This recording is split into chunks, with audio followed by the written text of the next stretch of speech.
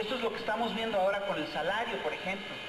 Hace 25 años los salarios eran mucho mejor pagados que ahora y ahora que están dejados a las fuerzas de libre comercio, los salarios simplemente se han desplomado.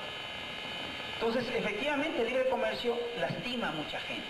Y estos señores te dicen, hay que firmar tratados de libre comercio.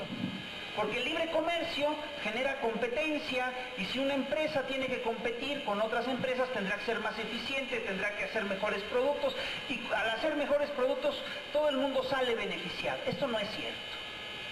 Ustedes saben que cuando México firmó el Tratado de Libre Comercio, en eh, cuando se echó a andar el Tratado de Libre Comercio en 1994, el grueso de la planta productiva mexicana estaba conformada por pequeña y mediana industria eran la pequeña y la mediana industria las que daban el grueso del empleo en este país. Cuando entra en vigor el Tratado de Libre Comercio, tanto el campo como la pequeña y la mediana industria se fueron a pique, quebraron. Y ahorita vayan ustedes a ver cómo está el campo mexicano y van a ver si eso no está en quiebra. Quebraron las pequeñas, la, pequeña y mediana industria y un montón de gente se quedó sin empleo. Entonces, de este modo, ingresaron al terreno del desempleo cientos de miles de personas en unos cuantos años. Y eso por supuesto que afectó a todos aquellos que viven únicamente de su trabajo. Nos dicen que las privatizaciones son muy buenas porque el Estado es muy ineficiente para producir, en cambio que la iniciativa privada es muy eficaz para hacer sus cosas. Y hasta nos ponen como ejemplo de esto lo que son las universidades. Según estas personas, las universidades privadas siempre serán mejores que las públicas.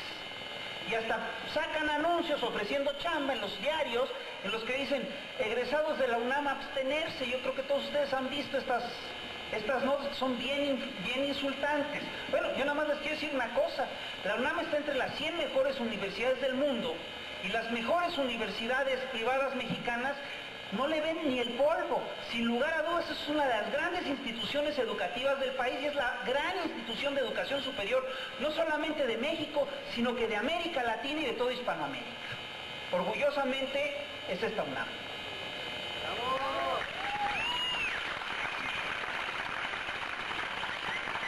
Nos dicen estos señores también que las empresas privadas siempre serán más eficaces que las públicas. Y cuando empezó el modelo nos ponían como ejemplo lo que era teléfonos de México. Decían, no, teléfonos de México, ve qué mal servicio dan. Y quiero decirles una cosa, teléfonos de México dio un buen servicio hasta que decidieron privatizarla, porque cada vez que quieren privatizar una empresa hacen lo mismo. Primero dejan que se caiga, dejan que se desplome, y ya que se desplomó, la rescatan, la sanean, se la venden a un particular para que la explote. Decían, no, es que Teléfonos de México es la empresa con más quejas ante el Instituto del Consumidor. Bueno, a ver, les doy tres oportunidades para que me digan, para que me adivinen, hoy en día, ¿cuál es la empresa con más quejas ante el Instituto Nacional del Consumidor?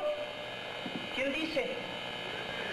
Teléfonos de México, efectivamente. No, se ve que estoy en la UNAM, aquí sí saben.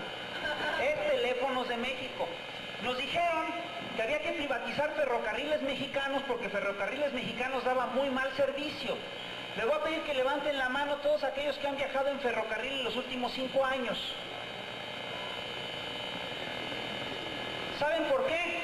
Porque ferrocarriles mexicanos ya no da mal servicio al usuario, al, viajero, porque ya no da servicio. Nos dijeron que había que privatizar la banca, porque la banca pública no iba a dar un buen servicio, en cambio que la banca privada sí. Bueno, privatizaron la banca y ¿qué pasó?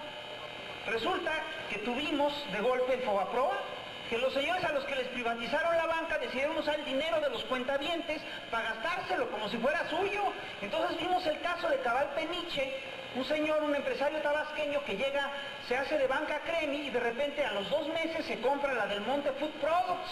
¿Con qué dinero se la compró? Con el dinero de la gente que tenía su dinero en el banco, de los cuentavientes. Es un fraude. El fraude de Cabal Peniche en el Fogaproa solo es de 2 mil millones de dólares, que es una barbaridad. Estamos ante un, eh, ante un sistema de privatizaciones que lo que hace es que privatiza las ganancias, pero eso sí, cuando los señores quiebran, como es el caso de la banca con el FOBAPRO, ahí sí se socializan las pérdidas y así tenemos que pagar todos. Yo quiero decirles una cosa, eso es profundamente injusto y eso básicamente lo que hace es condensar, concentrar las ganancias en unas cuantas manos y socializar las pérdidas. Y esto es lo que hace el modelo. La tercera lógica del modelo, esta que dice que eh, darle todas las facilidades a los empresarios, a la gente que sabe hacer producir el dinero, nos beneficia a todos, pues es una falacia. Ustedes, a ver, les voy a poner una pregunta bien difícil. Si ustedes le dan todo a los grandes empresarios, ¿a quién creen que benefician? ¿A la sociedad en general o a los grandes empresarios? Solo a los empresarios. Y efectivamente lo que hemos visto es cómo han crecido unas fortunas impresionantes en los últimos 25 años, mientras el grueso de la población se ha empobrecido. Así tenemos que hoy en día Carlos Slim es el segundo o tercer hombre más rico del planeta, ¿no? Mientras que el 70% de la población mexicana vive en pobreza. Y bueno, esto nos han venido aplicando a lo largo de 25 años. Y de repente, en septiembre de 2008, pues estalló una crisis financiera muy seria. Porque algo pasa con este modelo. Este modelo efectivamente hace mucho más eficaz la producción de unas cuantas empresas, pero hace muy ineficaz la producción en general del planeta. Aquí tú vas a tener que hay un montón de empresas que producen cada vez mejor, pero que hay toda una serie de áreas que están siendo devastadas. Y a lo largo de estos 25 años hemos visto cómo regiones enteras, y es el caso del campo mexicano, han sido devastadas en aras de libre comercio. Es decir, el campesino mexicano se ha visto constreñido en muchas ocasiones a vender sus tierras, a, irse a alquilar eh, como mano de obra barata porque simplemente no le costea trabajar en los productos del campo. El campesino mexicano le liberalizaron, lo, pusieron a competir con los grandes productores norteamericanos. Por ejemplo, el, productor de piña de, Veracruz tiene que competir con la piña de, Tailandia, pues no le da, no le alcanza y entonces quiebra. El productor de, trigo tiene que, competir con la Anderson Clayton del Midwest y quiebra. El único, yo quiero que vayan a ver al campo mexicano, está todo devastado. El único negocio que sigue floreciendo es el narcotráfico y es otra historia. De eso hablamos después, hablaremos en otra ocasión. Y lo mismo ocurre con las pequeñas y medianas industrias. Todo quebró en este país. Cambió totalmente el perfil de la planta productiva de la nación. Y no solamente quebraron regiones y zonas enteras de la economía de México. Hay países a los que les fue mal o peor que a México antes que a México. Miren, Argentina fue una de las 10 grandes economías del planeta durante todo, prácticamente todo el siglo XX. Le aplicaron el modelo neoliberal y a los 20 años Argentina estaba en la bancarrota. Y pasó a ser, ahora es una de las, la economía número cuarenta y tantos. Estas son las cosas que produce el modelo. Hay países enteros que han entrado en quiebra y de hecho hay subcontinentes enteros que han entrado en quiebra.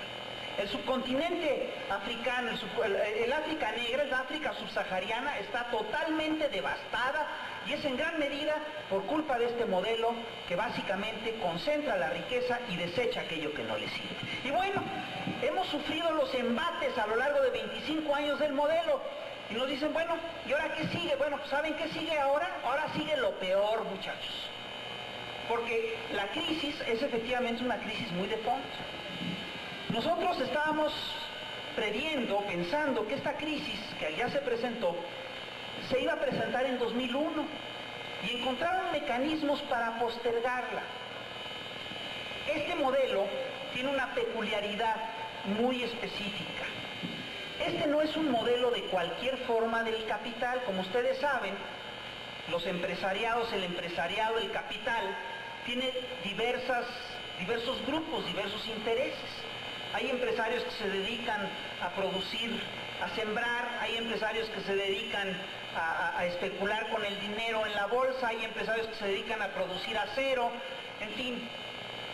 Este modelo es básicamente el modelo del capital que especula, del empresariado que especula, no solamente de los banqueros, no solamente de los dueños de casas de bolsa, es también el modelo de aquellas empresas que están en la bolsa.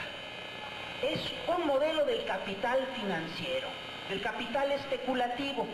Y en la era neoliberal ocurrieron dos cosas, ocurrió una cosa que es muy grave. La primera cosa que lo, que ocurrió y es esto. A lo largo de toda la historia de las bolsas de valores, siempre había guardado, se había guardado una correlación entre aquello que había y aquello con lo que se especulaba. Y solo se especulaba con lo que había. Si tú tenías un kilo de oro, pues especulabas con un kilo de oro y se acabó. Pero en la era neoliberal esa lógica se perdió y empezaron a especular con aquello que no había incluso.